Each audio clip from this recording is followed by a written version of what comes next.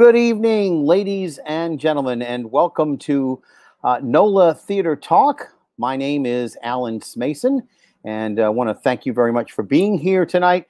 Uh, it is at an earlier time, and there are some reasons for that. Uh, because of the busy uh, weekend schedule that I've got, I had to go uh, earlier today or not do it at all. there is, uh, of course, a number of duties that I have to observe as a theater reviewer, and um, there is a show needing to be reviewed, and uh, there is no possible time to do it other than tonight. So uh, hopefully that will work out for everybody.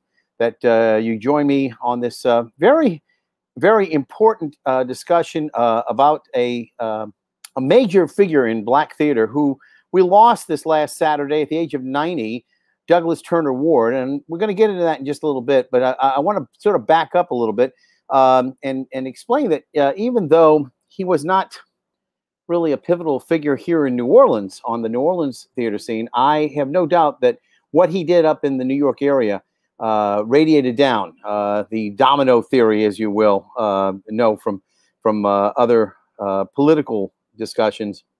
That what he did in New York uh, was so much as acting as a pioneer and and had such an impact that it was like the wake that came out of the pebble that is thrown into the pond and all of those emanations that uh, come forth.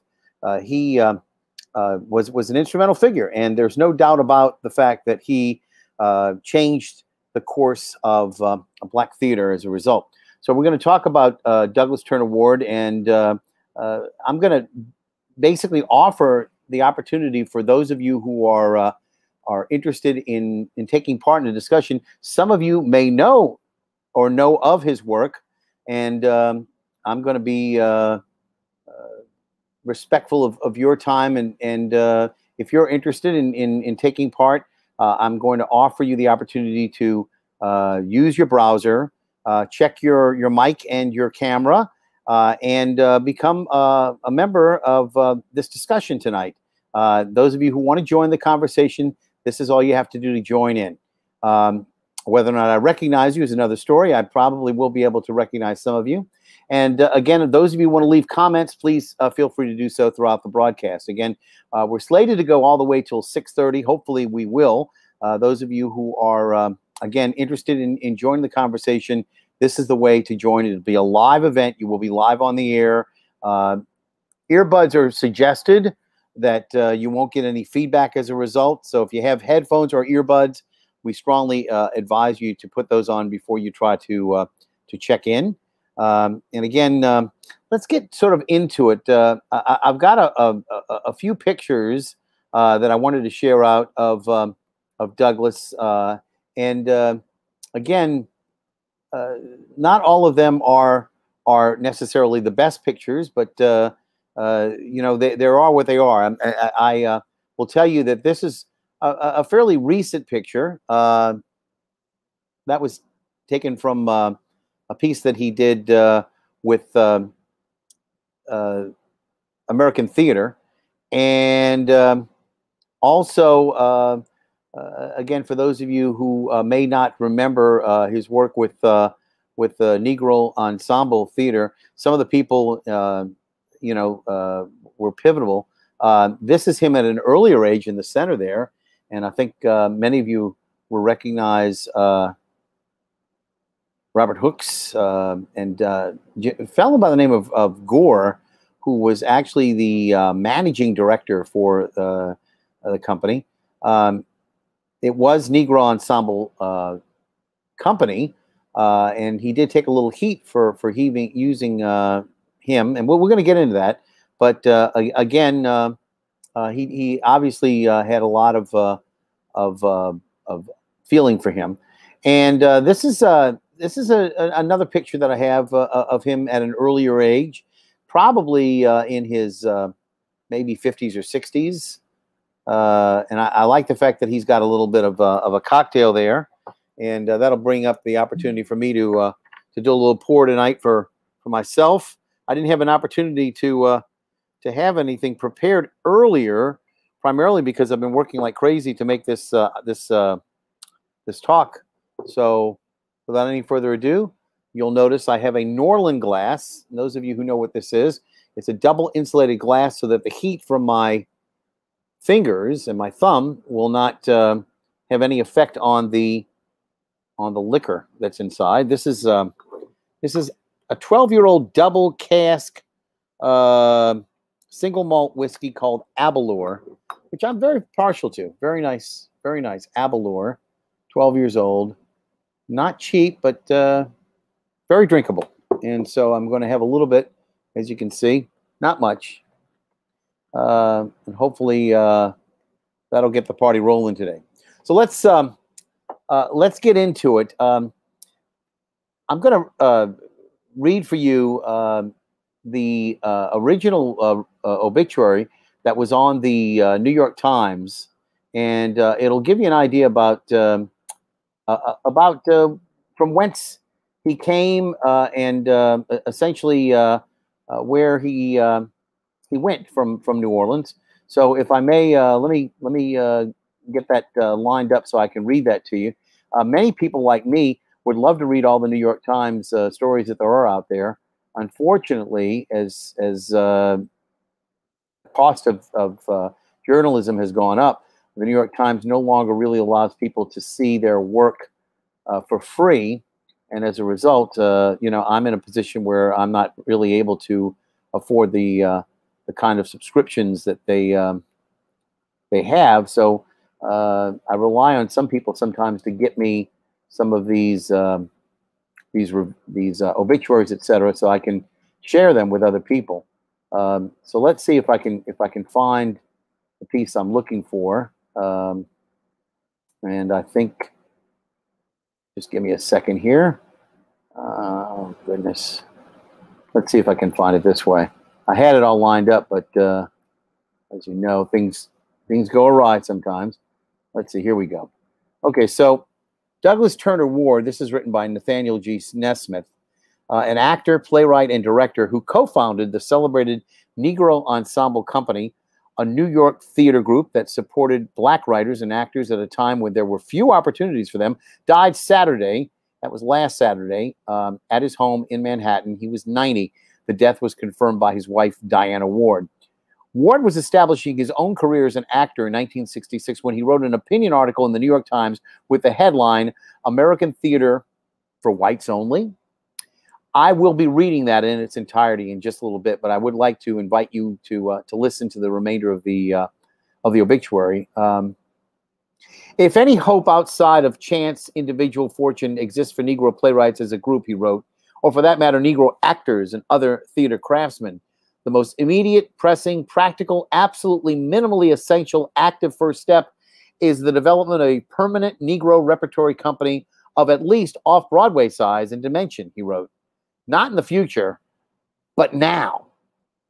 That article got the attention of W. McNeil Lowry, Ford Foundation's Vice President of Humanities and the Arts, who arranged a $434,000 grant to create precisely the kind of company that Ward was proposing.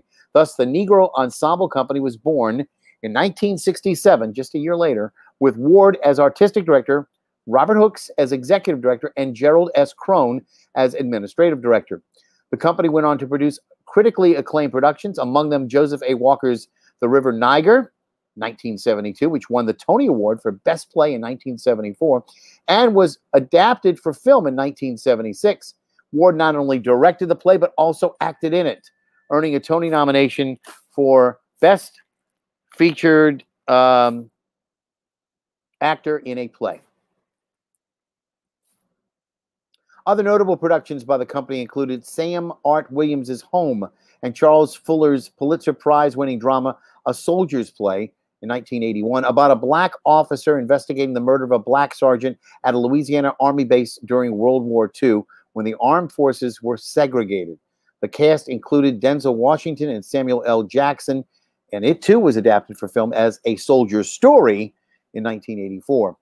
Frank Rich of The Times called the production, directed by Ward, superlative. In January 2020, the play was revived on Broadway, starring Blair Underwood, before being forced to close because of the pandemic. The Negro Ensemble Company became and continues to be a training ground for black actors, playwrights, directors, designers, and technicians.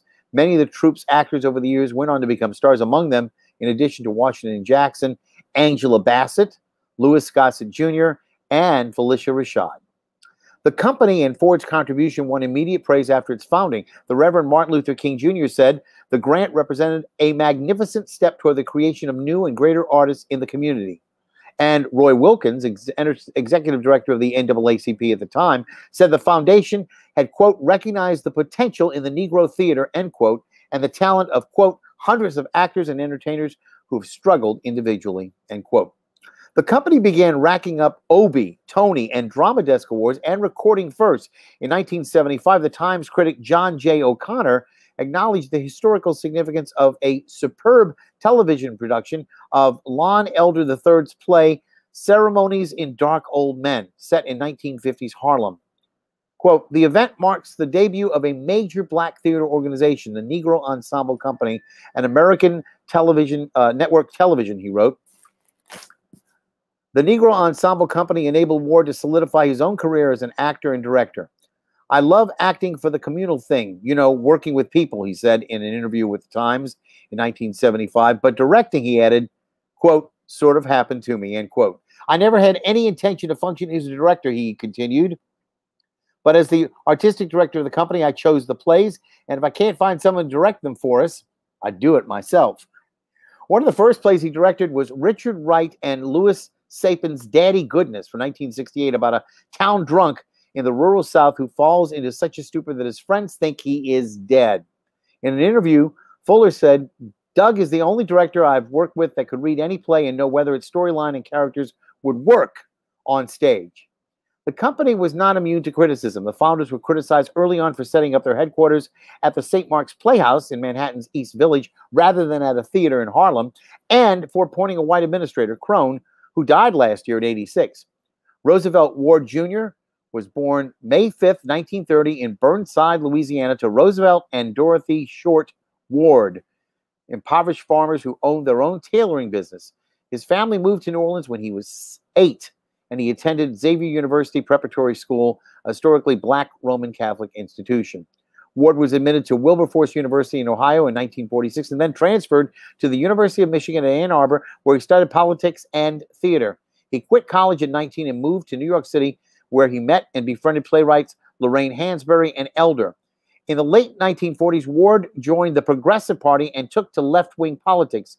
He was arrested and convicted on charges of draft evasion, and spent time in prison in New Orleans while his case was under appeal. After his conviction was overturned, he moved back to New York and became a journalist for the Communist Party newspaper, The Daily Worker. He also began studying theater, joining the Paul Mann Actors Workshop and choosing the stage name Douglas Turner Ward in homage to two men he admired abolitionists Frederick Douglass and Nat Turner, who led a revolt against slavery.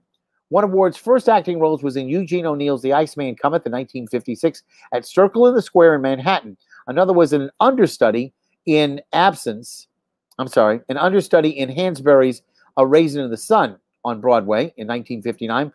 That starred, of course, Sidney Poitier and Claudia McNeil in the lead roles. He also began developing as a playwright in 1965, an off Broadway double bill production of a satirical one act comedies Happy Ending and Day of Absence became a hit bringing him a Drama Desk Award for Outstanding New Playwright. Surviving a transit strike, the production ran for 15 months. Ward had lead roles in many plays, including Ceremonies in Dark Old Men, for which he won the Drama Desk Award, and The Brownsville Raid, about an incident of military racial injustice in a Texas town. Clive Barnes, reviewing Brownsville for the Times, wrote the following Ward, who, to be frank, I usually admire more as a director than an actor, has never been better. End quote. Among his many awards and honors, Ward received the Dr. Martin Luther King Jr. Humanitarian Award. In 1996, he was inducted into the Theater Hall of Fame. In March, he published The Haitian Chronicles, a series of three plays that he had been working on since the 1970s, all centered on the Haitian Revolution, which threw off colonial rule, rule that is, in the 1980s, of, uh, sorry, in the 1800s. His wife said he had considered the project his magnum opus and that she and others we're hoping to have the play staged in New York with alumni from the Negro Ensemble Company. In addition to Diana Ward, whom he married in 1966, he is survived by their two children, Elizabeth Ward Cupperell and Douglas Powell Ward, and three grandchildren. At the Negro Ensemble Company, Ward often played matchmaker in connecting actors to roles, seeking out opportunities for people whom he knew had not been getting much work. Doug never saw NEC as a play to feature himself. Playwright Steve Carter, who was a production coordinator for the company, said in a phone interview for this obituary in 2017. He was always looking for new people. Carter, who died last year, said Ward had been known for his willingness to step into any role in which he was needed. He recalled the particular 1972 production of a ballet Behind the Bridge by Trinidadian playwright Lennox Brown. With actor Gilbert Lewis unable to appear one evening, Ward was hastily summoned to fill in. Doug went on with scripted hand, Carter said. Then Ward actually injured his hand on the set and began bleeding profusely, but he refused to go to the hospital until he finished the show. He would always do what was necessary for NEC, Carter said. So that, in a nutshell, gives you uh, uh, more than just a snapshot. You know, really a a, a full picture of uh, of uh, Douglas Turner Ward. And again, he had a lot going on. You know, you know there were political things he was involved with as well as artistic endeavors. And he said himself uh, in doing some of his reading uh, that I did to prepare for this uh, uh show today, I I had uh, heard him refer to being radicalized by none other than um, Paul Robeson, the great actor and uh, humanitarian, who was also, of course, involved with what we call today left-wing politics. Um, had been a, a, member of the Communist Party at, at one point, and very proud uh, member as, as well. But he said that he was radicalized by Paul Robeson and that, that he took to him um, very much as a result of, of uh, his uh, influence, that he became um, interested in, in uh, helping his fellow man and, and also, of course, uh, uh, getting involved in the arts in, in the way that he did. So um, let's see if we can move on. I've got a couple, as I say, some things that I wanted to go on. Um, First off, uh, uh, the American Theater had done a uh, a background on on Douglas. Uh, they uh, basically have a number of of, of uh, quotes that he had as oral histories, and I'm going to read these so that you can get a little bit more in his his own style of, of speaking. And so these are all written pretty much without any uh, any cleaning up of anything. It's, it's, it's pretty much the way that he spoke. And um, these are all actual quotes from him. I was born on a plantation in Burnside, Louisiana, which is about 55 miles uh, on the River Road area between Baton Rouge and New Orleans. And my first six years were spent there until my parents moved to New Orleans. I was uh, precocious. You know, when I was taught the ABCs by my parents at a, a few years old, I fell in in love with uh, words and ultimately language. My parents used to joke that I couldn't walk out of the house without a paperback in my back pocket. And I would forget what I was supposed to buy at the grocery store because I was so involved in terms of what I was reading.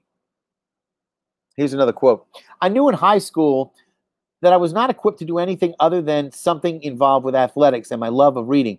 So I wanted to go to the University of Michigan to become an All American football player.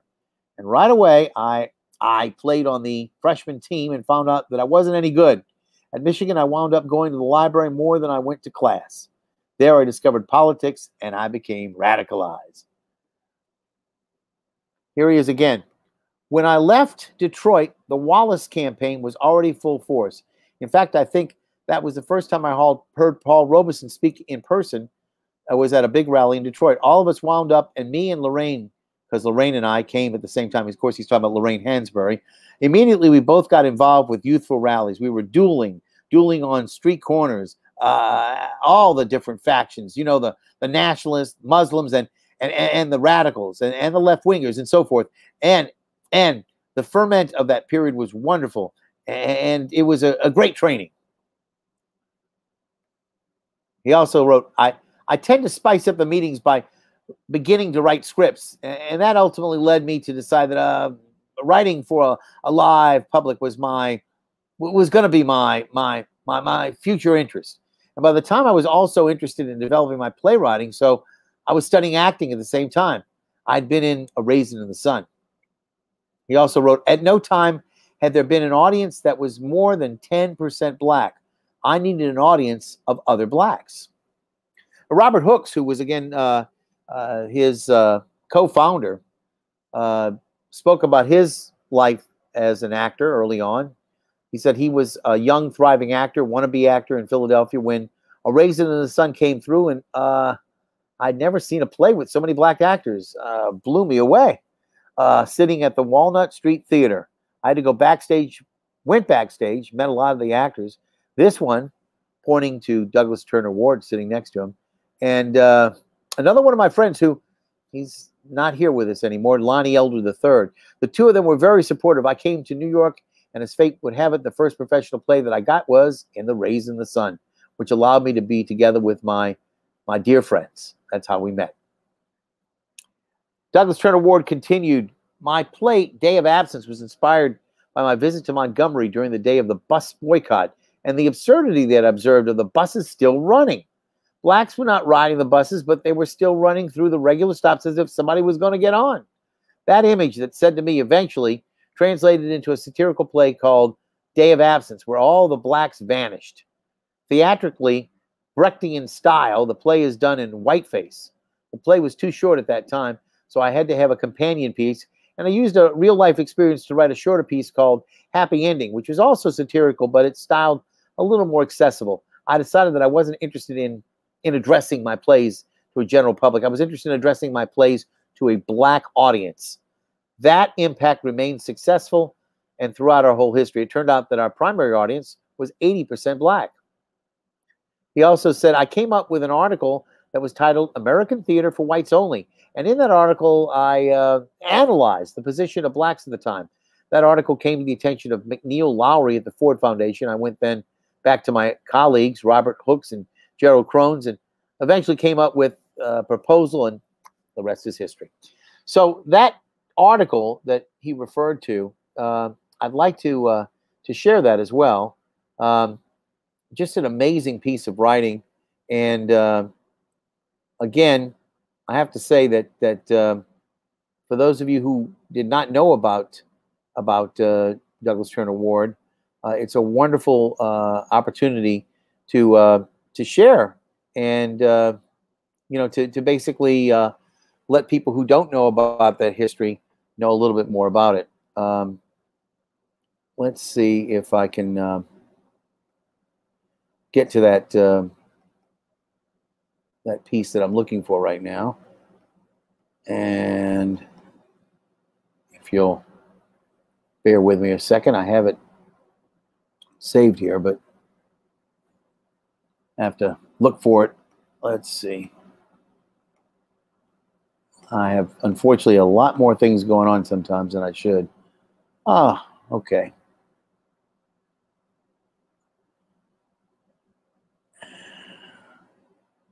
So I'd asked a friend of mine to send it to me, and for some reason he's trying to get me to share it out. that ain't what I wanted to do.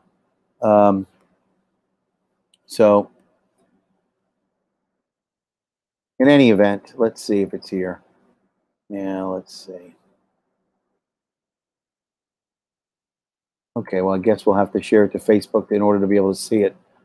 Why not? I can always unshare it later on.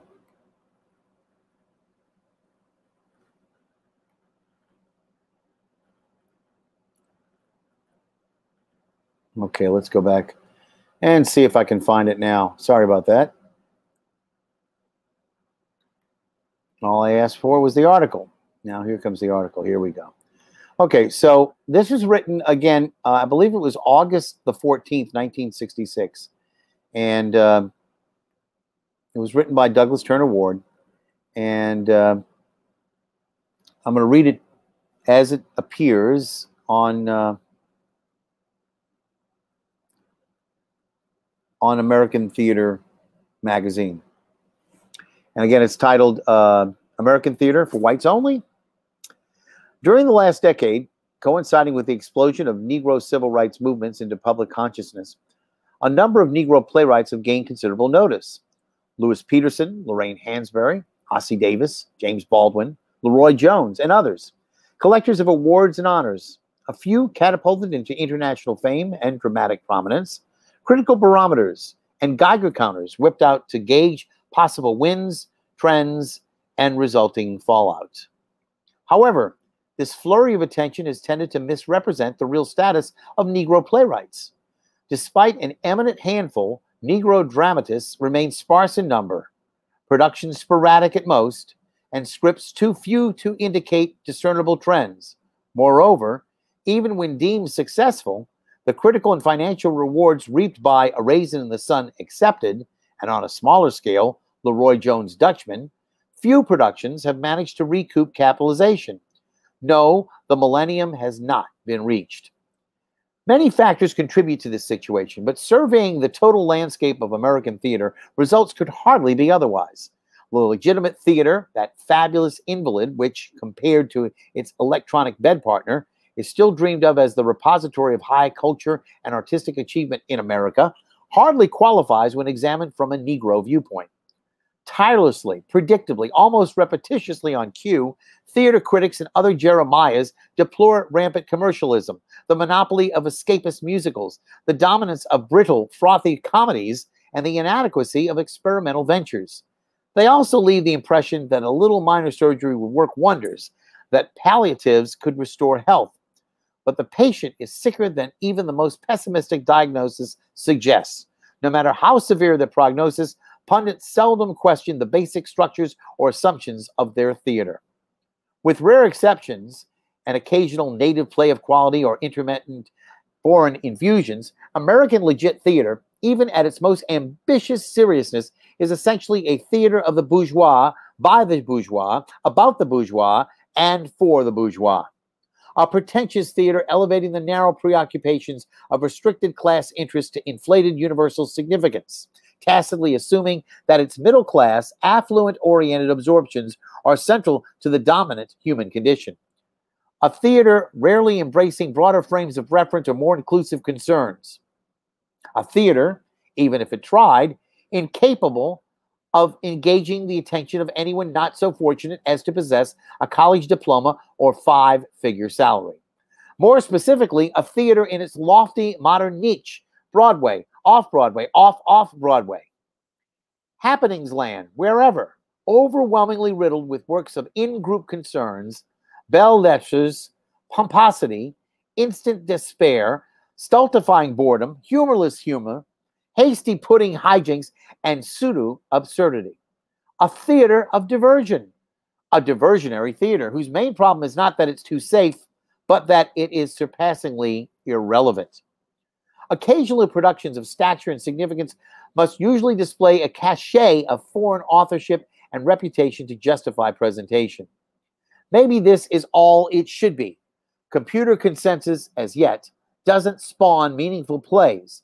The most powerful country in the Western world doesn't necessarily usher in a golden age of drama. It is not surprising that the Negro playwright and the power of his potential fit only peripherally into his spectrum.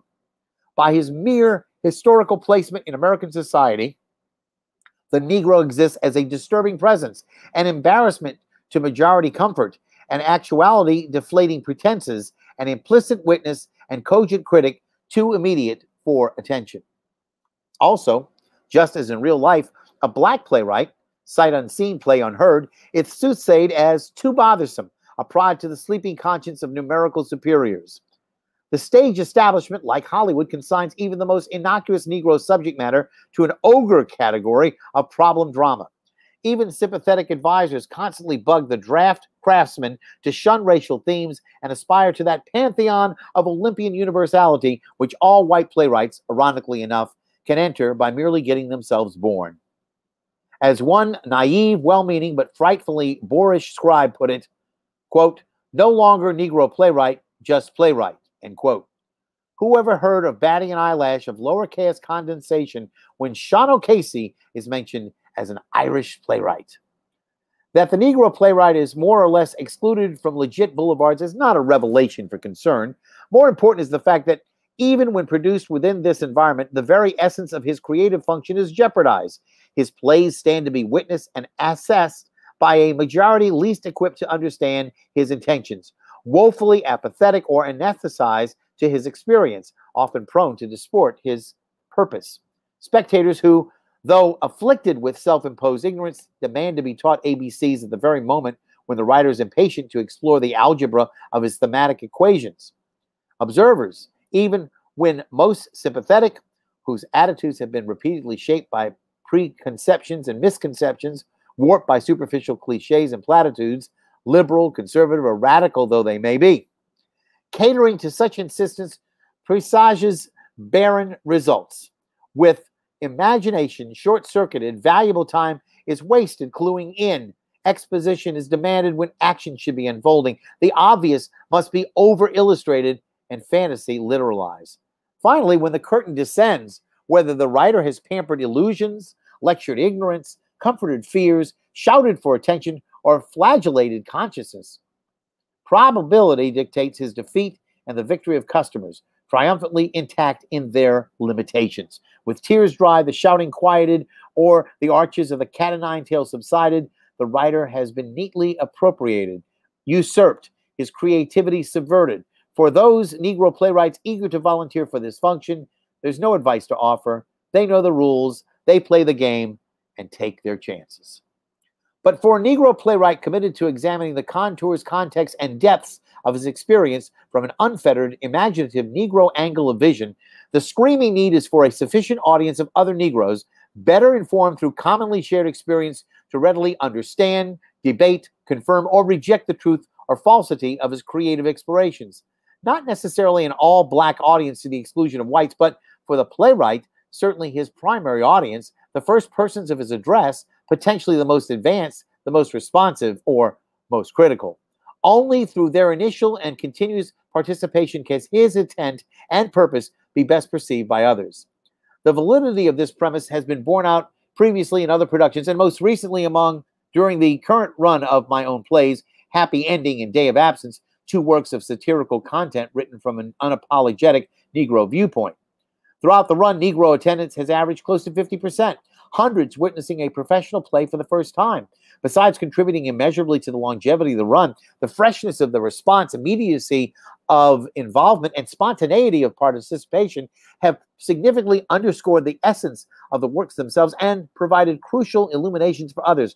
With Negroes responding all around, white spectators, congenially uneasy in the presence of Negro satire, at least can't fail to get the message.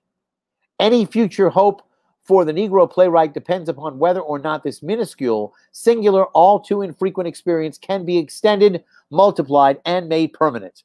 As long as the Negro playwright remains totally dependent on existing outlets, he stands to continue as a pauper, begging sustenance, never knowing from day to day, year to year, whether a few scraps will be tossed his way. Even burgeoning tax supported, privately endowed repertory companies are beyond the reach of his ambition. Imagine rushing to present Day of Absence or any other work which would require jobbing in 15 Negro actors when your roster only allows for two or three at most, often tokens at that.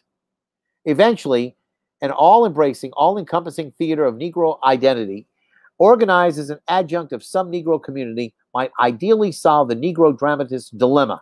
But such a development, to me, must arise as part of a massive effort to reconstruct the urban ghetto small scale cultural islands in the midst of the ghettos, separate and apart from a committed program of social and economic revitalization of slums, are doomed to exotic isolation. Meanwhile, potential talent ready for exercise cannot wait. Without engagement, it lies dormant, stillborn. Time passes, aging proceeds. The talent withers and eventually dies of non use. If any hope outside of chance individual fortune exists for Negro playwrights as a group, or for that matter, Negro actors and other theater craftsmen, the most immediate, pressing, practical, absolutely minimally essential active first step is the development of a permanent Negro repertory company of at least off Broadway size and dimension, not in the future, but now.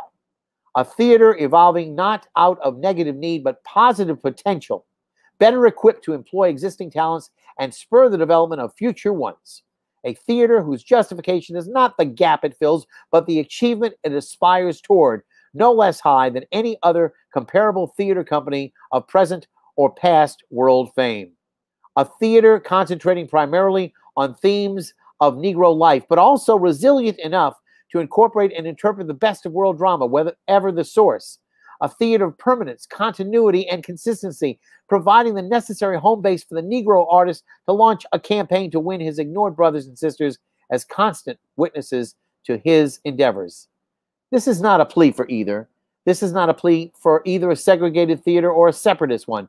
Negroes constitute a numerical minority, but Negro experience from slavery to civil rights has always been of crucial importance to America's existence. There's no reason why whites could not participate in a theater dedicated to exploring and illuminating that experience if they found inspiration in the purpose. Also, just as the intrusion of lower middle class and working class voices reinvigorated polite, effete English drama, so might the Negro, a most potential agent of vitality, infuse life into the moribund corpus of American theater. That is an amazing piece. And again, I'm so delighted to be able to share it with you. Again, those of you who are are out there listening in, I, I appreciate. I uh, hope that uh, that uh, those of you who have missed this broadcast will at least uh, take time out to uh, uh, listen to the words of Douglas Turner Ward, a man of of, of great resource who realized his potential in New York, established the Negro Ensemble Company, uh, and and made it possible for Negro theater, as it were, as it, he called it there, black theater in America, uh, to go forth from New York and to spread into all the other outlying communities. And so, uh, uh, again, I thought it was an important thing to to note his passing, his connection to New Orleans, uh, notwithstanding as a youngster, and also his connection as a uh, as a resident of our prison here uh, during the time that he was being tried, and uh, I'm I'm glad to say that that uh, uh he was not uh, imprisoned for apparently a long time, but that uh, he was able to extricate himself from that indelicate position.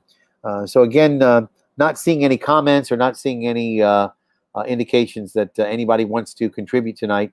again, I'll probably sign off a little early tonight. If anybody is interested, though, please feel free to uh, to join the conversation, StreamYard.com, and there's the the rest of it right there. You can just uh, copy and paste that into your uh, your browser and uh, become part of our broadcast. Um, I have uh, uh, many of you noted, or maybe not have noted. I, I've sort of shut down a number of the broadcasts that we've been doing. I've been trying to do as many as I can on Mondays and Fridays. quite honestly a lot of the uh, the shows that I was intent on bringing, a lot of them are are uh, slow in coming. So a lot of the Monday nights that I would have liked to have filled up with uh, original plays or plays that uh, were one acts that we would present maybe on a, a one act uh, um, grouping of, of plays, etc. There would be more than one in one particular night, uh, or perhaps to do some some other works that hadn't been done yet, just have not happened and again, uh, we're dealing with a, a, a, new enforcement of the uh, of the uh, contracts that exist for the uh, various uh, actors unions, uh, and so we have to be compliant if there are any people who are involved who are members of either Actors Equity, Equity or the SAG-AFTRA union, Screen Actors Guild, and and the American Federation of Television and Radio Artists. So um, those two groups have dictated as to what can be uh, uh, basically dealt with. Uh, in most cases, uh, these kinds of live stream readings are, are allowed, but in the case of, of productions that require filming out of sequence or perhaps uh, uh, involve uh, set designs and things of that sort, not just the readings that you might see. they require some deliberations as to whether or not that that uh, is in in the uh, spirit of of what the uh, unions are intending. So we haven't done a whole lot of those, but we're looking still to do it. If anybody out there has uh, some plays uh, that have been written by them or by friends that uh, they'd like to see produced, I'm very interested in making that happen. Um, again, we've had some wonderful productions this past year. It's it's a shame that we couldn't keep all of them up, but because of of publication rights. Uh, many of the uh, uh, productions that we did, such as the trilogy of John Biguenet's plays, are, are, no longer available. They, they were taken down shortly thereafter. And what a shame because, of course, one of the people associated with those productions, Gregory Johnson, passed away from from COVID uh, uh, at the end of last year, and uh, just a tragic situation that we weren't able to keep him here. And, and of course, uh, he contributed in many many ways to some of the uh, after uh, production talkbacks that we had with our our cast, and just such a delight, a wonderful man. we will miss him. Of course, my good friend, I wish wish I would have had her on tonight to talk because I bet if anybody had a con- conversation or got together with Douglas Turner Ward, uh, the late great Carol Sutton would have been one of those people. And uh, uh, so I, I, bemoan the fact that she's passed on as well, again due to COVID. Um, one of the other members of our, our community, uh, Sherry Marina, died around the same time. Um, and she was very involved with the uh, Actors Equity Group, was the vice president. Uh, so again, you know, we've all experienced loss and and we'll continue to do that, uh, I guess, as as we move forward in this pandemic. But uh, there is light at the end of the tunnel, and uh, as we saw last year, uh, a, a, lot of the questions that were asked about where black theater belongs and and uh, where uh, equity and inclusivity and diversity belongs, you know, are being asked with greater urgency than ever before. Uh, I think that uh, as all of those questions are asked and as changes are made, uh, that we should keep tight to and remember the legacy of Douglas Turner Ward and, and all that he did uh, in helping to establish uh, a, a, more meaningful presence for uh, Black theater. And again, I want to thank everybody who was here tonight to be with me. Again, my name is is Alan Smason, and this has been NOLA Theater Talk. We're going to close it out a little early. I'm going to have my drink now. So uh, hopefully uh, have a good time. And uh, again, for those of you who uh, are looking to see this or promote it, uh, it's on the NOLA Theater Folk Facebook group. We also show it on the theatercriticism.com Facebook page. And additionally, we'll uh, we'll show for those people who are on on Facebook on YouTube the YouTube channel, and, and, you can get to it either by looking at my name or using the the name of the channel. So that's going to do it for for me tonight. Thank you all for joining me. I hope that that you if you weren't familiar with Douglas Turner Ward, that uh, you are now, and that uh, you uh, permitted me the opportunity uh, to uh, familiarize him with you through his readings and his his memories. And again, I thank you all for being with me tonight. don't have any new shows to announce just yet. Hopefully, we'll have have some great shows coming up. I'm looking to do some more uh, as we move forward. So uh, stick around for all of that. Again, for uh, NOLA Theater Talk, Alan Smason saying, I'll see you at the theater.